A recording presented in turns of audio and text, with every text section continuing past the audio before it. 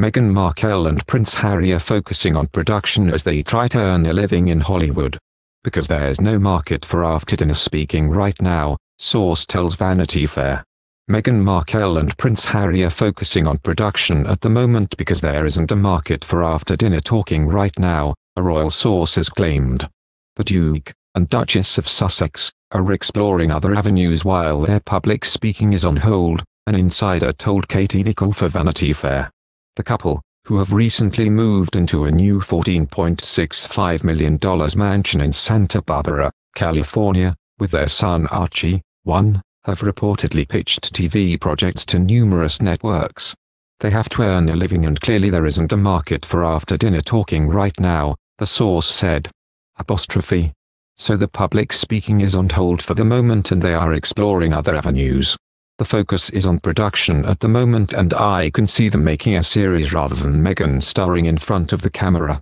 They added that the priority for the couple is on projects and campaigns that mean something to them and are in line with their views as such as civil rights, women's empowerment and the Black Lives Matter movement.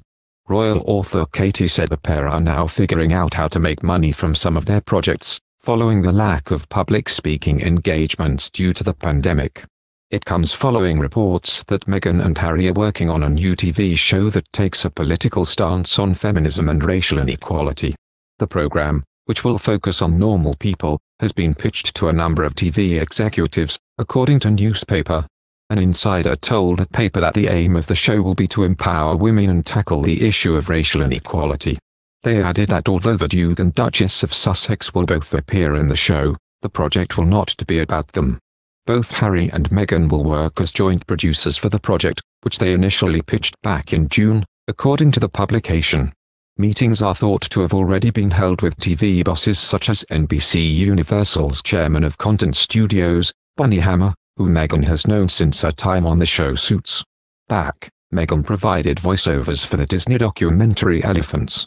And Harry followed in her footsteps by appearing in a new Netflix documentary about the Paralympic Games called Rising Phoenix. Now the royal couple reportedly hope to produce their own worthy documentaries through their own film and television production company.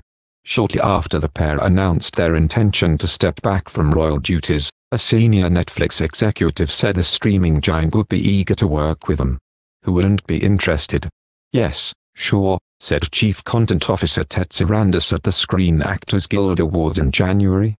Back to life, after the calls for equal rights, the right to vote. Meghan and Harry return to their Hollywood monetization to take care of their one-year-old son Archie. The couple are known to follow in the Netflix documentary project, appear on television, or participate in conversations to earn income. Thank you for watching. If you like our video, would you please help us like, share and subscribe our channel. Wish you happy to see our videos, thank you very much.